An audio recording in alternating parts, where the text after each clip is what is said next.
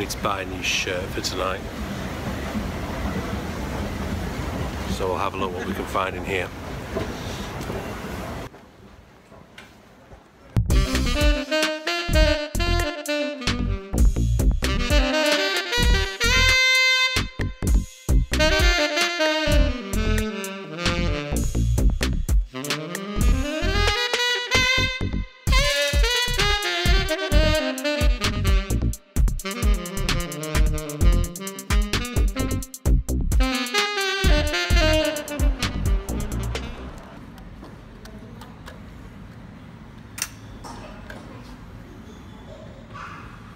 Hi, welcome along to today's vlog.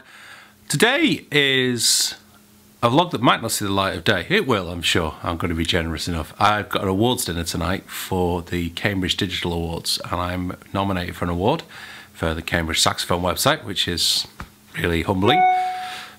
Some more emails popping in. Today's supposed to be my day off. Um, as you've seen in earlier footage, I had to nip into Cambridge. I had a coffee with someone, tried out the new MacBook Pro, the touch bar, which is really good, but it's kind of weird how often when you're with the touch bar you want to touch the screen. So I was just working away in Final Cut Pro and you move them and then you want to touch the screen to do something. And so I don't know, maybe Apple need to think about that one. They're normally pretty good with people's feedback. And weirdly, there was no kind of uh, touch bar, whatever they're calling it, for um, Logic, what there was for GarageBand, which is a bit stupid in my mind. Having watched this uh, masterclass by Chris Potter in Barcelona, I have just been inspired to get get my overtones done today and to work on a voicing on it. And I'm just going to show you this kind of idea on voicing. It's dead easy. So say you've got a D minor chord. You might make that into a D minor 11 by putting a, a D minor chord with a C major triad.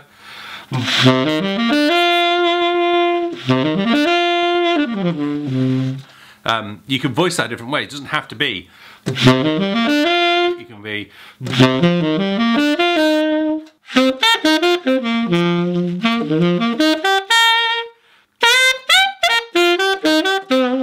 I'm also getting really onto this Charlie Parker tunes segment, which um, I heard Luca playing last week. It's a fantastic piece.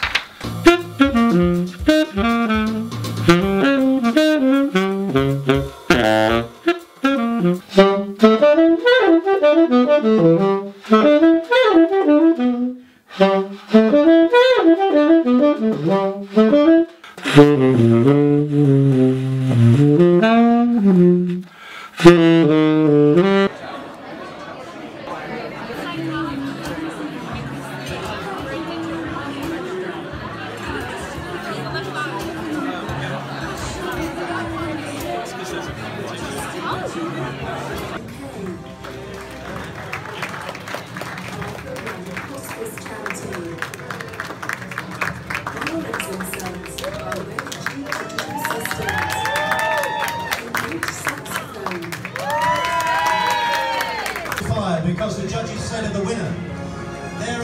more powerful ways to promote your services than the use of client testimonials. And with this type of business, clearly they are key. Alongside a well laid out website filled with useful resources, this is clearly a worthy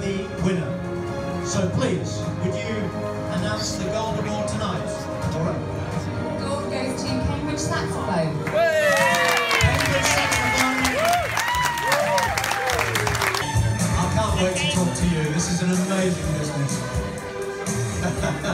you should have brought your saxophone, eh? Anyway, Laura, that's the gold award for, for you. How does that feel? Because that must be that must be great. Just introduce yourself as well. Uh, yeah, hi, I'm Dan. Um, I started Cambridge saxophone around about uh, five, six years ago when I first moved to Cambridge.